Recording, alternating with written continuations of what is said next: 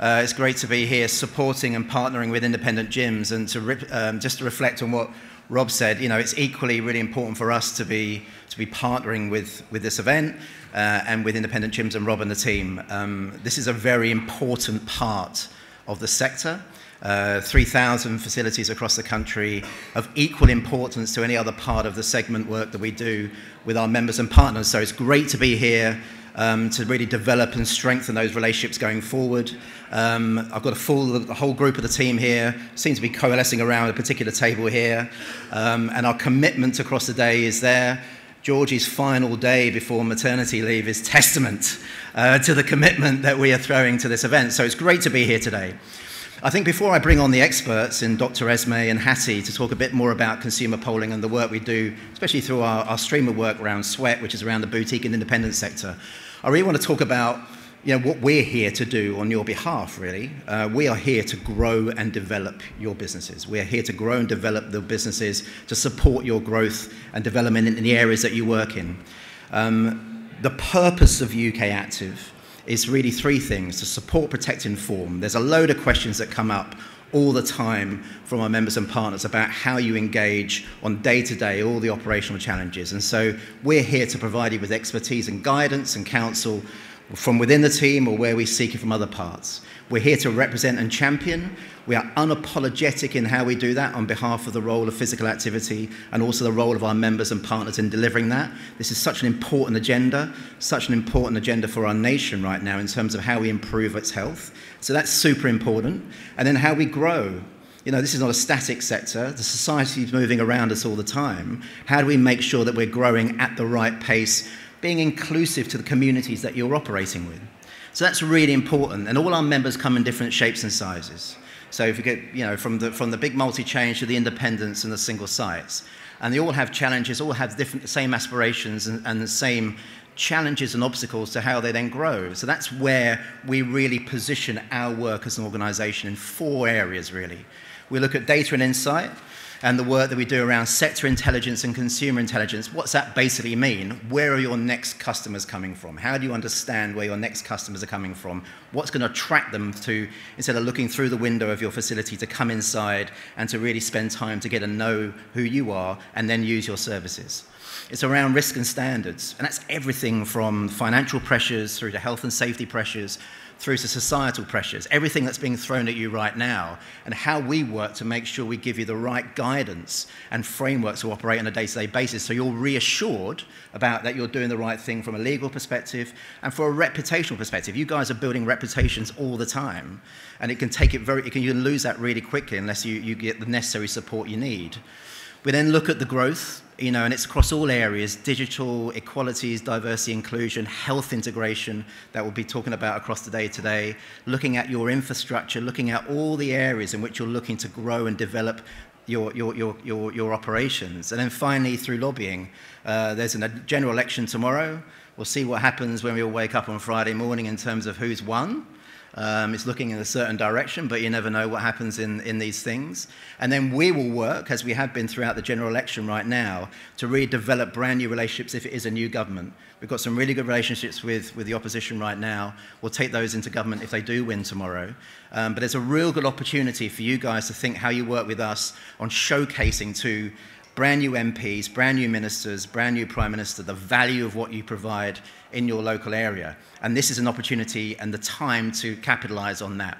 And so that's really important how we showcase the very best of what we do to support the health and well-being of the nation when there's so many challenges around health right now with waiting lists and long-term sick. So you guys are right at the heart of the solution for that, and we want to make sure that there's great, visibility to what you do.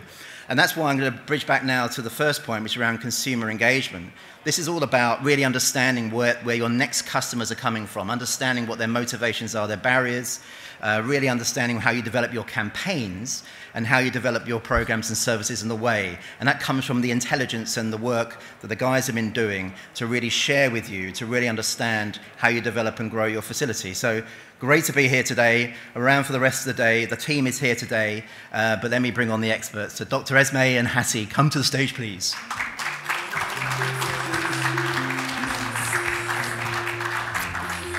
Lovely. Thank you, Huw. Um, and hello, everyone. I'm just going to flick through here. So, Um, just following on from what Hugh just said, so, um, and he may have mentioned it to around Vision 2030. So UK Active have a vision um, leading up to 2030 to reach 5 million more people into the sector um, using pools, gyms, leisure facilities. Um, and so as part of that, consumer engagement, we need to understand what those 5 million people want, how they want to engage with us. Um, so as part of our wider sector intelligence um, and data and insight that Hugh's just touched on, Consumer engagement is a part of that. So when formed alongside Sport England's Moving Communities, which is obviously public operator focus, and our private sector benchmarking, um, that gives us a really good overview of what's going on in the sector, both uh, on the ground in your facilities, but also from a consumer perspective, um, both as members and non-members. So we know from a lot of this data that um, memberships and participation in facilities is increasing, but what we need to know um, a bit more is what motivates those people to access our facilities, how do we keep them engaged, retain them, progress them, get them to bring their friends and families, um, and then more importantly, we need to understand the people that aren't engaging with our audience and our sector um, to really help drive towards Vision 2030. So we've recently think it was May, uh, beginning of May, released our On the Road to Vision 2030 Consumer Engagement Report. Um, at the very end of this presentation, there's a QR code that you'll be able to download it if you haven't seen it already. Um, so we're just going to give you a really high-level overview of some of the data that's within that, what that is, what consumer engagement is at UK Active, and then in the breakout session after this, we're joined by the amazing Jules um, from Active Insight, where we'll dive deeper into that data as well and be able to have conversations around it. Just want to touch on our partners for this work. So core partner in Dyaco, who I believe are here today, and Matrix, and also Gladstone. So they really help sort of support the, the work that we're doing and the strategic direction of that. So what is consumer engagement? What do we mean by that? So consumer engagement at UK Active is the regular interaction and relationship with existing fitness and leisure consumers, um, but also the potential of new consumers, so people that aren't using our facilities. And what we're trying to do is observe behaviours, feelings of those consumers, their motivations, their barriers, their perceptions of our sector to really help break down those barriers. And then methodology, so how do we do this, basically? So we do regular quarterly polling. We're about to embark on wave seven. Um, so that's little over sort of 18 months worth of data that we sit on. Um, and we do that with a market research specialist called Savanta Comres. Um, so it's based on um, a national representative sample, and that's various demographics that are shown on the screen there.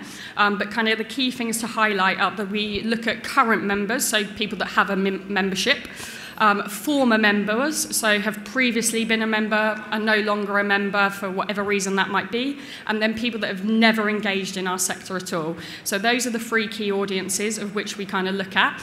Um, we have standard set of themes and questions in the polling so that we're able to track trends, and then each quarter we kind of look at the environment, the wider landscape of what's going on. So as you can imagine, more recently in the last poll, we were looking at themes and questions around health of the nation leading into what was coming in in the general election. Um, and we kind of help define what, you know, and understand what consumers believe, your members believe are happening in those areas as well to help kind of with the strategic alignment of certain areas that we deliver at UK Active and uh, the sector development team. So ED&I, health, digital transformation, women and girls, for example, are some of those pieces that help, you know, this questioning help informs. So I'm going to pass over to Esme, who's going to take you through some of that headline data. Hattie. Yeah, so I've got what I think is the exciting part, but I think that's maybe I'm a bit biased.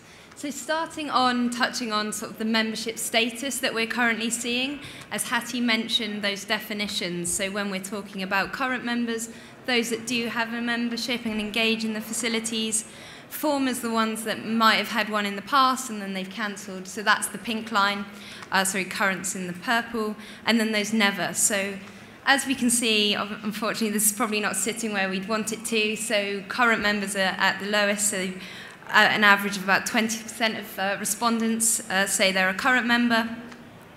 Former sits around 39% and never at about 34. So obviously with this data, we want to try and change those lines around, get that current sitting up there higher. So now just looking at some of the activity levels, and again we've split this out by membership status.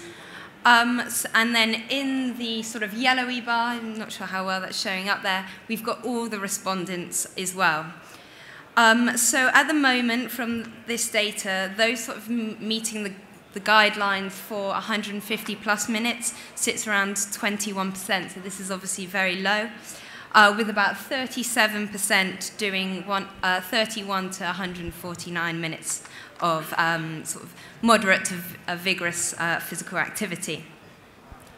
Probably not um, that surprising, but current members are doing the most, which is obviously positive, uh, with those engaging in an average of th um, so 32% doing the recommendations, but this is obviously um, arguably still too low.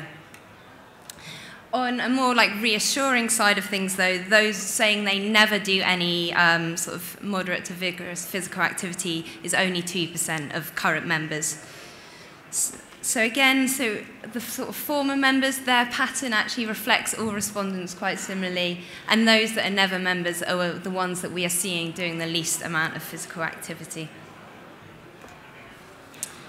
Now, sort of to hone back in on looking specifically at members. So this question is asked only to those that who say yes, they do have a current membership. So we ask them sort of what are they engaging at when they go to their facilities, what activities are they doing, and how frequently. So gym workouts are what's being engaged in the most. Uh, with an average of 86% of respondents who are members saying they do this at least once a month. Swimming drops down to 63%, and uh, group workouts are also still very popular, uh, with 59% saying that they're engaging in this activity at least once a month. Using the gym at least twice a week is um, around 52% of current members. So again, that's good engagement, but could potentially still be higher. Lastly, just to look at overall dry and wet usage, and again, this is asked to, this is going back to all respondents, uh, so this could also reflect sort of pay-as-you-go membership, sort of one-time use as well. Um, so actually, from tracking those trends um, across time, across those quarters that Hattie mentioned, there is actually a bit of an increase in those stating sort of never during the January period, Um, we actually did this polling quite early in January, so again, this could be reflective of maybe Christmas. Um, so that's just one that we, we noticed there. More people are saying that they're never actually using the gym um, versus never using uh, swimming. So maybe this is a bit suggestive that sort of pay go, going once as sort of a pay-as-you-go rate is easier for a swimming capacity.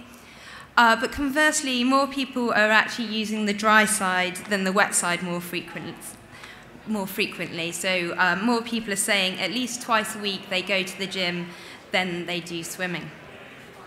So I'll now hand back to Hattie just to go through some of the motivations and barriers. Lovely, thank you Esme. Um, so that gives you a bit of a flavour in terms of some of the data that we can dive into and again we can dive deeper into some of those examples.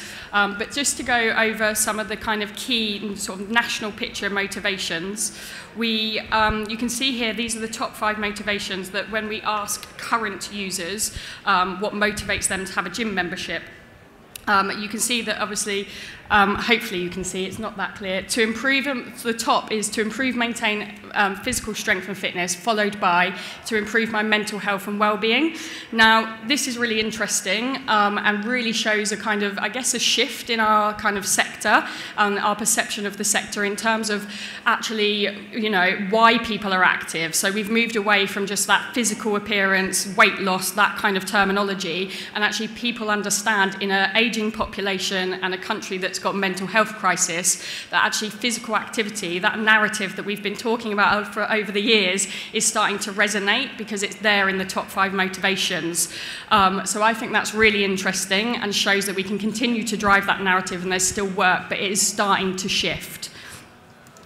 And then just looking at kind of high level barriers, Um, so looking into these, um, cost of membership is the top one, not a surprise, we're in a cost of living crisis.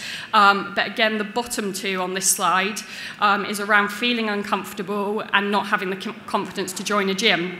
Now, these are two things um, that I think are really easy for us to under Uh, you know, to make change on, it's really, you know, really clear that we can make people feel comfortable, we can engage them. It's about that sign up, that first visit, making them feel welcome. These are really tangible things that as, as teams in your organisations and in the wider sector that we can address without having to pump loads of money into it. So, you know, it's those kind of things that we need to look at and go, actually, we can make some shifts here, we can make some changes and really tangibly start to engage people and make them feel comfortable because naturally, um, similar things in a piece of research we did a couple of years ago, focused on women and girls, um, was around feeling comfortable, feeling like I have to be fit to, or to go to the gym, it's for the fit. We all know that's not true. We all know, and I can guarantee you can all think of someone, if not more than one person, um, that really doesn't fit that mark um, using your facilities. So that's where I think there's a huge opportunity for us to get better at storytelling, to showcase for your workforce, for your members, those people, those relatable stories, so that when people see them, they go, Well, actually, that person looks like me. Oh, their story is very similar to mine. I can go and do that. Now, we want to hear those stories. We want you to inundate us with them through our membership team, through all of us, and then we can raise those stories up. So we can use those in our conversations with government, through our media connections, and really help drive that narrative and showcase that. So I'm expecting everyone to inundate me now um, with those. But just as an example, and we will touch on this in um, our deeper dive in our breakout session, you may be aware, which I touched on, the women and girls work that we did a couple of years ago, um, which demonstrated that feeling uncomfortable, feeling unconfident, and also that fear of harassment and intimidation with the sector. Now, that's a societal issue, and we're not going to solve that. But we have a role to play with that. We're embedded in communities across the UK and can help support that. So we took that data, we saw that going, okay, that's not great, that doesn't look good, but actually, what can we do about it? How can we support you as independents, the private, public sector, to really tackle that? So we looked at that, we created a guide with tangible action plan, five-step action plan, um, which is free for you to all access if you haven't got it. And we'll talk about that in more detail next. Um, but from that has also led to a bigger project around safer spaces to move um, with This Girl Can, um, which has just finished a pilot phase around making women feel comfortable and knowing that there's a zero tolerance policy. And if for any reason they feel uncomfortable on the gym floor, that people can support them. So we can touch on that, but it shows where you can take a piece of data, really look at that, go, okay, issue, how do we change that? And that's what we at UK Active are trying to do, really support you in tackling those issues. So in terms of the report, um, it's got all that data in it, um, but also it's really designed to be tangible. So what? Okay, it tells us that. So what? Well, in the report, you'll find key tangible actions that you can take on board and have a look at, and we're looking to evolve that over time. So we'll continue to do these reports, maybe focused in on specific areas, and to really build on that and here's how you get the report if you haven't got it already. Um, so download it. As Hugh said, we're around all day, happy to field any questions and hope to see some of you in the breakout.